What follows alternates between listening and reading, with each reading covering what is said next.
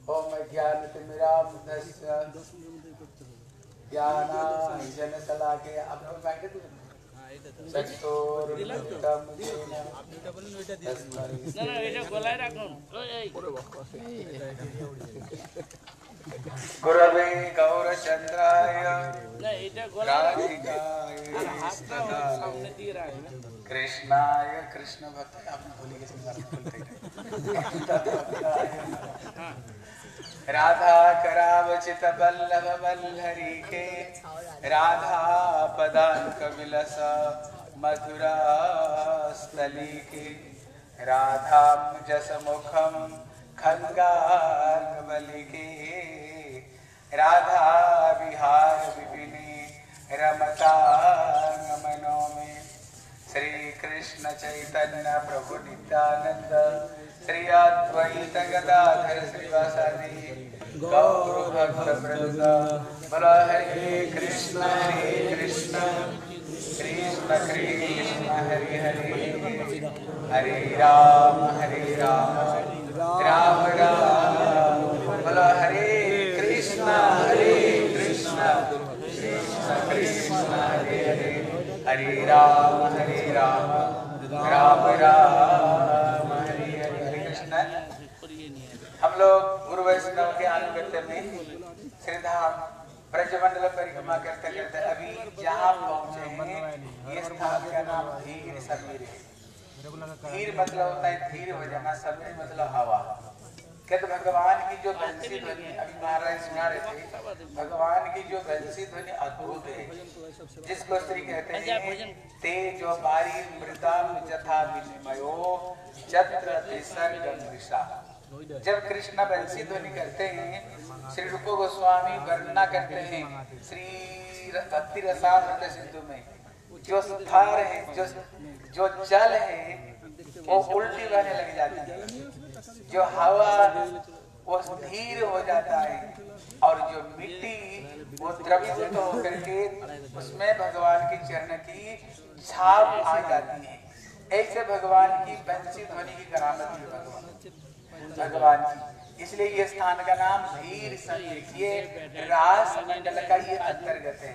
अभी श्री उत्तम प्रभु भजन गा रहे थे, धीर यमुना तीरे, बसती बने बनमाली। कभी श्री राधा रानी कृष्ण के लिए कभी कुंज बनाती हैं कभी कृष्ण राधा रानी के लिए भी कभी कुंज बनाती हैं। कभी यहीं पर श्री श्याम सुंदर, राधा रानी के लिए उन्होंने सुंदर उन्होंने कुछ यहीं पर बनाए। और राधा रानी बोली थी, इसी समय पर मैं आऊँगी। लेकिन वो टाइम पर नहीं आने पर कृष्ण कभी कभी उस जगह से कभी बाहर निकलते हैं, कभी बाहर से कभी अंदर में आते हैं। अगर कभी पतति पतंत्र, अगर थोड़ी पत्ते का अगर खड़खड़ का शब्द हो तो कृष्ण चौंक उठते हैं, क्या राधा रानी तो नहीं आ गए इसलिए कभी कृष्ण बाहर कभी कृष्ण भीतर आते हैं। कभी श्याम सुंदर कहते हैं सखियाँ क्या बात है? श्री किशोर जी आज क्यों नहीं आ रही हैं? सखियाँ बोले लगता है शायद राधा रानी आपको ऊपर शायद मान की होगी। किसी विषय पर कोई मान की होगी इसलिए नहीं आ रही है। बोले ये बताओ अभी राधा रानी को प्रसन्न करने के लिए मुझे क्या करनी चाहिए? प्रसन्न करने के लिए उनको मंत्र जप करनी चाहिए। मंत्र से ही संतुष्ट होते हैं। फिर तो मेरे को राधा रानी का मंत्र प्रदान करो। कभी सखियाँ राधा रानी को राधा रानी की रांग राधिका या नाम बोल करके उनको मंत्र प्रदान करते हैं। और राधा रानी यहीं पर बैठ करके श्याम सुंदर यहीं पर बैठ करके उन्होंने राधा रानी के मंत्र को जप करते हैं। लेकिन तब भी राधा रानी नहीं आ रही। कृष्ण फिर चंचल उठे। बोले राधा रानी आ क्यों नहीं रही? बोले लगता है आप तो मंत्र जप करते हो। लेकिन मंत्र जप करने का पाँच नियम है। अगर वो नियम के साथ में मंत्र जप करोगे, फिर तो ये मंत्राधिष्ठाती जो देवी, हरे कृष्णा, इसलिए कहती है, मंत्राष्टि देवी तभी तो प्रसन्न होंगे लगता है आप मंत्र तो जप कर रहे हो, लेकिन जो मंत्र है, आप बेमन से मंत्र जप कर रहे हो। फिर कृष्ण बैठ करके राधा रानी की चिंतन में संपूर्ण उसमें डूब गए। लेकिन तब भी राधा रानी नहीं आती है। बोली, अभी क्या हो गया? अभी क्यों नहीं आ रही? है बोले, देखो, मंत्र से जप कर रहे हो, लेकिन ठीक से जप नहीं हो रहा पाया। इसलिए एक काम करो, कीर्तन करो। क्योंकि कभी कभी देखना, मंत्र जप से मन से कभी कभी इधर उधर भटकता है।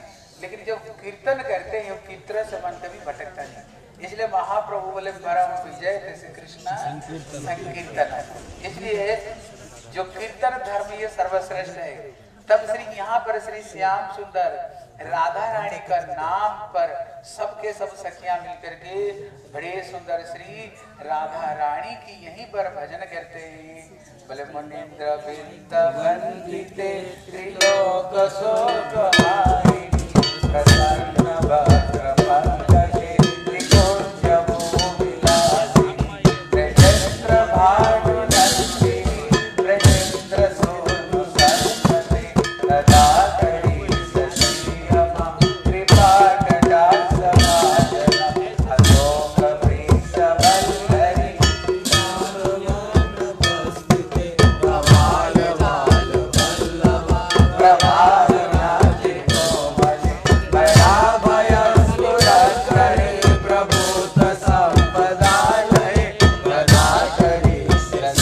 कृपा इसलिए जब राधा रानी का कीर्तन करती है राधा रानी तो कहीं दूर थे ही नहीं। राधा रानी तो कहीं दूर गई नहीं राधा रानी पास में रह करके देख रही थी श्याम सुंदर मेरे चिंतन में क्या करते हैं? जब उन्होंने विभोल होकर कीर्तन की इतने में श्री राधा रानी वहीं प्रकट हो जाती है। बोले श्रीमती राधा रानी की इसलिए कहती है? धीर समीर। और यहीं पर कुछ वैष्णव का भी लीला है। आप लोगों ने यहाँ पर समाधि दर्शन किया। श्री गौरदास पंडित का समाधि दर्शन किया है। ये गौरदास पंडित कहती है, कृष्ण लीला में ये सुबल सखा है। ये सुबल को साथ में राधा रानी की मुखार बिंद की कितने एक साथ थी। अगर कभी कृष्ण अगर राधा जी की विरह में ज़्यादा विरहित हो जाए उसी समय सुबल को ही भेज करके उन्होंने फिर सुबल अंदर में जाकर राधा रानी बन जाती थी और राधा रानी सुबल बन करके अपना गोद में बछड़े लेकर के श्री श्याम सुंदर के पास में आ जाती थी। इसलिए ये कृष्ण के प्रिय नर्म सखा है। इसलिए जब श्रीमन चैतन्य महाप्रभु आए, वो भी महाप्रभु का परिकर बन करके श्री गौरीदास पंडित जी को घरे आए। इसलिए भजन गाते हैं ना? देवादि देव गौर चंद्र गौरीदास मंदिरे, नित्यानंद संगे गौर इसलिए कभी ये कालना में ये रहा करते थे। इसलिए श्री चैतन्य महाप्रभु, नित्यानंद प्रभु जब गए, गंगा पार करते हुए, अभी उनके घर में रहे तो जब जब महाप्रभु, नित्यानंद प्रभु घर से निकलना चाहते थे, गौरदास पंडित कुछ ना कुछ बहाना बना लेते थे। बोले, देखो, प्रभु जी, और एक दिन रुक जा। जब किसी तरह से और एक दिन रुक गए, फिर जब, फिर कल जाने के लिए तैयार हुए, बोले, प्रभु, आए, अब तो अभी अभी आए हो। फिर आप कल जाना। फिर कल आए तो बोले, नहीं, ना नहीं, ना। बोले, कल जाना। इसलिए वो स्थान का नाम बोला, कल ना, काल ना। इसलिए कल बोले, ना। इसलिए क्योंकि वह प्रिय नर्म सखा थे। और प्रिय नर्म सखा के साथ में श्रृंगार रस की कुछ अंदर में प्रवेश है। अभी किसी तरह से घर से निकल नहीं पाए। इतने में उन्होंने नीम लकड़ी की बोले दो हमारी मूर्ति बनाओ। तब उन्होंने दो मूर्ति बनाए और उनको पीढ़ी बना करके बोले इसके ऊपर भोजन किया। लेकिन वो मूर्ति भी, विग्रह भी वहाँ पर प्रसाद पाए। बोले, बताओ तो अभी तुम क्या चाहते हो? हम दोनों भैया को चाहते हैं ना, ये दोनों विग्रह को चाहते हैं। बोले, विग्रह से क्या मतलब? आपसे हमारा मतलब। आप ही हमारे घर में रहो। इतने बोलते ही वो विग्रह तो बन गए, हैं? महाप्रभु नित्यानंद प्रभु बन गए विग्रह। लेकिन जो विग्रह था ना वो विग्रह चलना था धीरे धीरे विग्रह चलना शुरू किया। शुरू किया तो देखा अरे ये क्या हो गया? ये तो विग्रह बन गए विग्रह चल जा रहे फिर दौड़ते हुए गए। बोले कहा जा रहे हो? बोले तुमने बोले तुमने हमको रख लिया ना। हम तो रह गए बोले नहीं आप ही रहो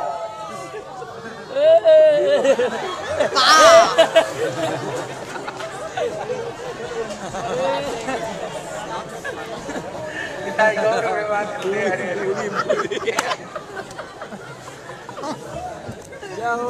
हरे कृष्णा। इसलिए अभी हरे कृष्णा। इसलिए अभी पिताई गौर इसलिए अभी आप देखोगे, इसलिए वहाँ पर नित्यानंद प्रभु, महाप्रभु वहीं पर रह गए। और वहाँ से विग्रह जो चलते चलते चलते चलते वहाँ से विग्रह चले गए। इसलिए गुरुदेव कहते थे हम लोग तो नित्यानंद प्रभु और महाप्रभु को देखे ही नहीं। लेकिन अगर कोई महाप्रभु और नित्यानंद प्रभु को देखना चाहते हैं, बोले, कहाँ पर देख सकते हो? बोले, अभी अंबिका कालना में जो विग्रह है, वो साक्षात रूप में कौन है? महाप्रभु और नित्यानंद प्रभु साक्षात रूप में। इसलिए हमारे हमारे ब्रह्म सूत्र में बताया ब्रह्म सूत्र बताया अरूप बत ही? तत् प्राधान्यत्वाद है इसलिए कहते अरूप बत ही तत् प्राधान्यत्वाद लेकिन जो विग्रह न तुम साक्षात ब्रजेंद्र नंदन जो विग्रह को हम कह रहे हैं, उनका नाम विग्रह मतलब विशेष पूर्वक, भक्तों को, सेवा को जो ग्रहण करते हैं, वो विग्रह है। इसलिए विग्रह को साधारण बुद्धि नहीं करनी चाहिए। और यहीं पर श्री ध्यान चंद श्री गोपाल गुरु जी से यहीं पर उन्होंने मिले हैं। श्री गोपाल गुरु भी ये कृष्ण लीला के एक मंजरी ये सखी है। इसलिए महाप्रभु ये गोपाल गुरु को द्वारा किसी समय कोई एक व्यक्ति शौच क्रिया में जा रहे थे। लेकिन वो चब्बीस घंटा के चब्बीस घंटा हरिनाम कीर्तन करते थे। जब शौच क्रिया में जा रहे थे, उसी समय में भी वो जीवा को पकड़ कर रखे थे। बोले, भैया, तू जीवा को क्यों पकड़ कर रखे हो? बोले, ये जीवा मानती नहीं।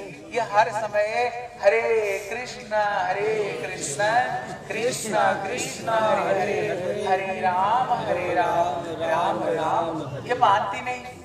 इतने में बोले, अगर कोई व्यक्ति अंतिम सज्जा में लेटा हुआ है, लेकिन वहाँ से उठ नहीं सकता, उसमें शौच क्रिया कर रहे फिर उसको क्या हरिनाम नहीं करनी चाहिए?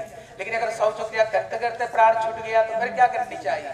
महाप्रभु उसको द्वारा शिक्षा देना चाह रहे थे। भगवान का जो नाम है, नाम नामकारी बहुधा निज सर्व शक्ति तथा नियमित स्मरण काल। कृष्ण नाम करने के लिए कोई नियम की पाबंदी नहीं।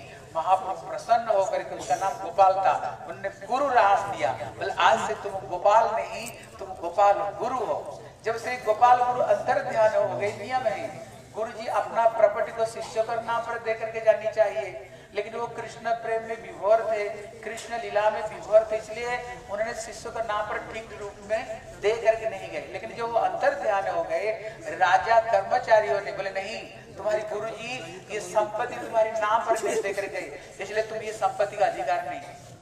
इसलिए गठिया में वो रहते थे, बड़े उत्पाद करने लग गए, करने लग गए। तो इतने में हमारे गौरव पार्षद चरिता बिल में लिखा हुआ है, तब ये श्री ध्यान चंद्र ने गया जहाँ पर स्वर्ग द्वार में, जहाँ पर गुरु जी को तहा संस्कार किया गया था, वहाँ पर प्रार्थना किया तो गुरु जी साक्षात रूप में वहाँ प्रकट हुए।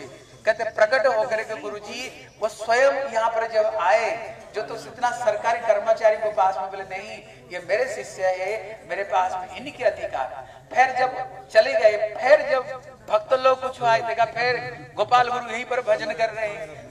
पुरी से कोई ब्रजधाम दर्शन के लिए आए, देखा गोपाल गुरु फिर यहीं पर भजन कर रहे।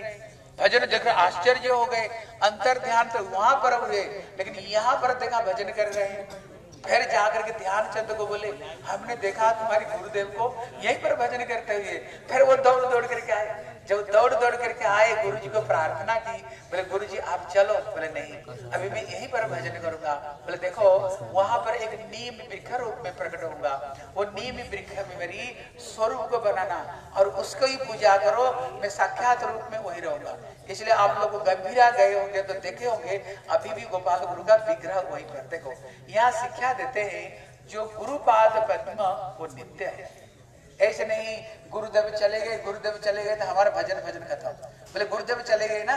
हम मंदिर में फिर क्यों जाएँगे? बोले, नहीं, गुरुदेव नित्य है, अभी भी गुरुदेव भजन कर रहे हैं। अगर सच हृदय से, अगर गुरु जी को, अगर हम सच हृदय से पुकारे, किसी भी, कोई विषय में, कोई भी, हमारे श्री बाबन गोस्वामी महाराज, जिस समय उनकी गुरुदेव की भक्ति प्रज्ञान केशव गोस्वामी महाराज की ग्रंथ लिख रहे थे, एक दिन हमारे गोपिकांत प्रभु जो जनार्दन महाराज अभी वो बावन गोस्वामी महाराज की सेवा करते थे। एक दिन देखा भक्ति वेदांत बावन गोस्वामी महाराज रात भर कथा बात कर रहे रात भर देखा बात करते हुए इतने में सवेरे हुआ। सवेरे होते होने पर उन्होंने गुरुदेव ने बावन गोस्वामी महाराज बोले, गोपिका तो रात भर मैंने ठीक से सो नहीं पाया। बोले, सोएँगे कैसे? रात भर तो बड़बड़ा कर रहे थे। मैंने देखा रात भर आप बात ही कर रहे थे।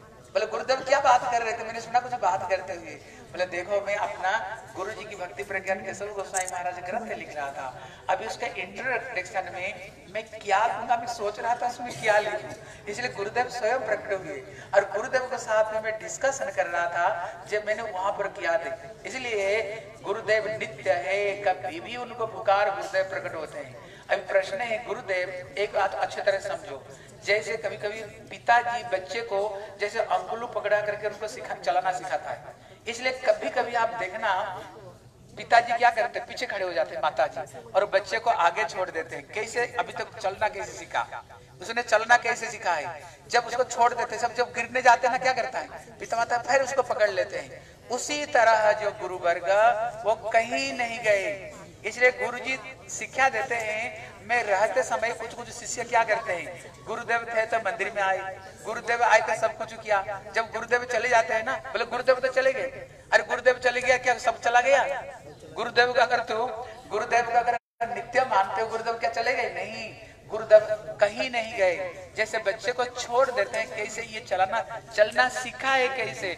उसी तरह गुरुदेव अभी केवल पीछे बैठ करके देख रहे हैं। अभी तक तुमको जो शिक्षा दिया, वो शिक्षा को तुम कैसे अपना जीवन में आचरण में ला रहे हो? इसलिए उनको परवर्ती समय में, उनकी परवर्ती समय में जो आचार्य लोग आते हैं हम लोगों को उन्हीं के अनुगत्य में भजन करनी चाहिए, क्योंकि गुरु जी से उन लोग को शिक्षा प्राप्त इसलिए आप लोग कंटिन्यू मंदिर में आते रहना गुरुदेव जी शिष्यों को छोड़ कर गए, उन्हीं के अनुगत्य में हमें भजन करनी चाहिए। बोले, निताई गौर ब्रह्मा